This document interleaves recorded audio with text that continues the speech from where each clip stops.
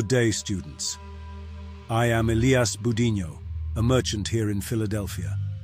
Let me share with you the complexities of our relationship with Britain and how our ambitions often clash with their interests. You see, our leaders in Europe, they seek to expand their empires, control trade, and assert their dominance over the New World. But we, the colonists, we have different aspirations. We yearn for self-rule, for the freedom to trade with whom we please, and for the right to govern our own lands. Take the Navigation Acts, for instance.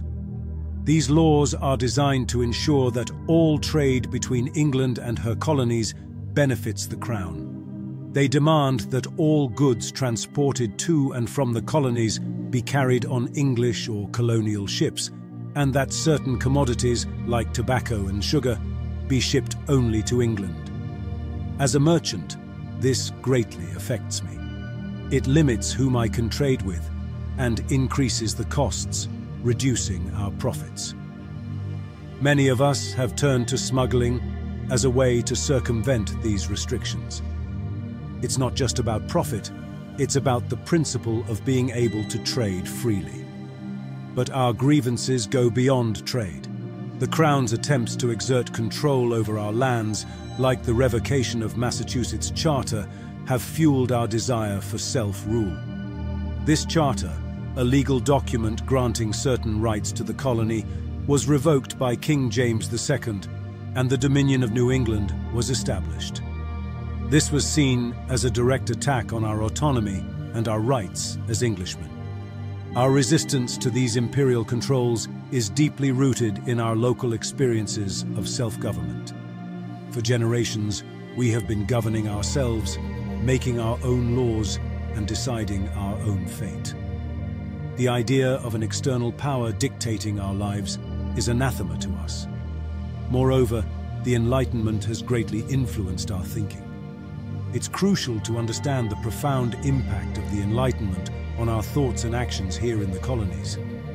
This remarkable movement, which began in Europe and swiftly made its way to our shores, has been a beacon guiding our resistance against imperial control. The Enlightenment, at its core, champions reason, individualism, and a skepticism of traditional authority.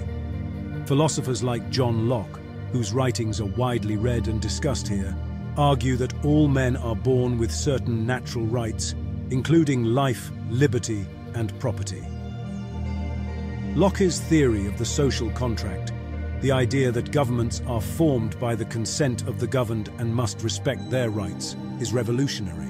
It challenges the very foundation of imperial authority and justifies our resistance.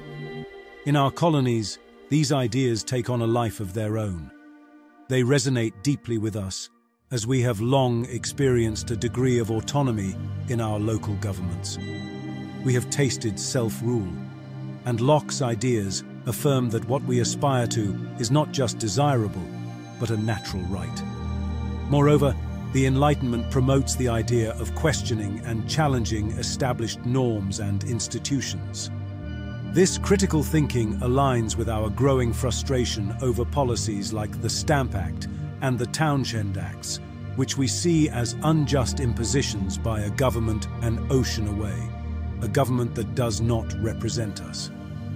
Our resistance, therefore, is not just a reaction to specific laws or taxes. It's a fundamental clash of ideologies. On one side, is the traditional belief in the divine right of kings and the supremacy of the British Parliament. On the other is this new Enlightenment thinking that champions the rights and liberties of the individual and the notion that governments should serve their people, not the other way around. The Enlightenment's emphasis on knowledge, education and intellectual discourse also fuels our resistance. In our coffeehouses and meeting halls, ideas are exchanged and debates are held. These are not just idle talks. They are the bedrock upon which we build our understanding of our rights and the legitimacy or illegitimacy of the power exerted over us. In essence, the Enlightenment is the intellectual underpinning of our resistance. It gives us a framework to articulate our dissatisfaction, to argue our case, and to envision a different future. a future where we are self-governing and where our rights are respected. So, my young friends, as you can see, our relationship with Britain is complex and fraught with tension. Our goals and interests often clash with theirs. They see us as subjects to be controlled and taxed, while we see ourselves as free individuals with the right to govern ourselves, to trade freely, and to practice our religion as we see fit. This struggle is not just about policies and laws, it's about our identity as Americans. Thank you for listening, and I hope this gives you a clearer understanding of the challenges we face in these trying times.